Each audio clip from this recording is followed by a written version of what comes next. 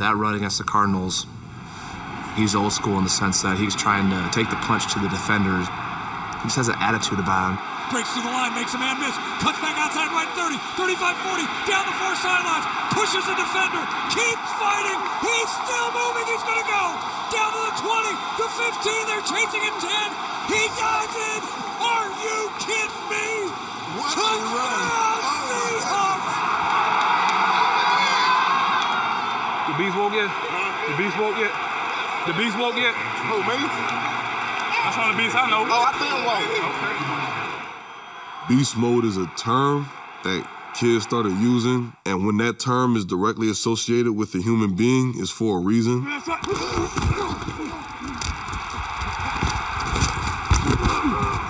The toughest guy to bring down National Football League is Marshawn Lynch by far. And there's a lot of guys out there that are probably intimidated by him.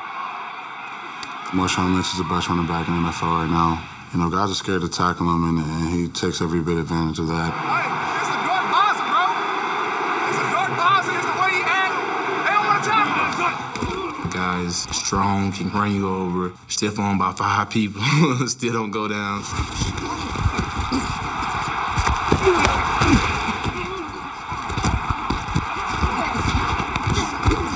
Such a hard runner.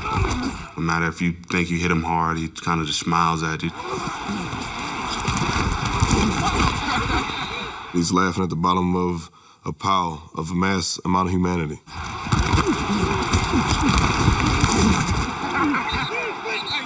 You can hit him, you can hit him, and he keeps getting back up. He enjoys that part of the game.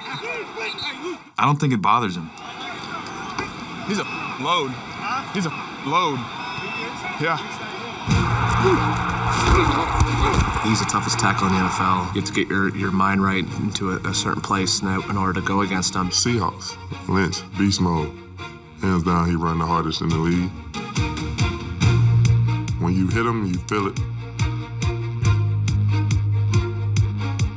I thought I had my mind ready. The first series, he let me know it wasn't gonna be as easy as I thought it was.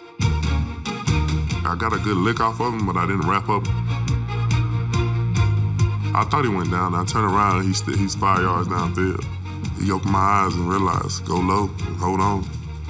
Justin Houston got a first hit on him. Lynch, though, dives forward.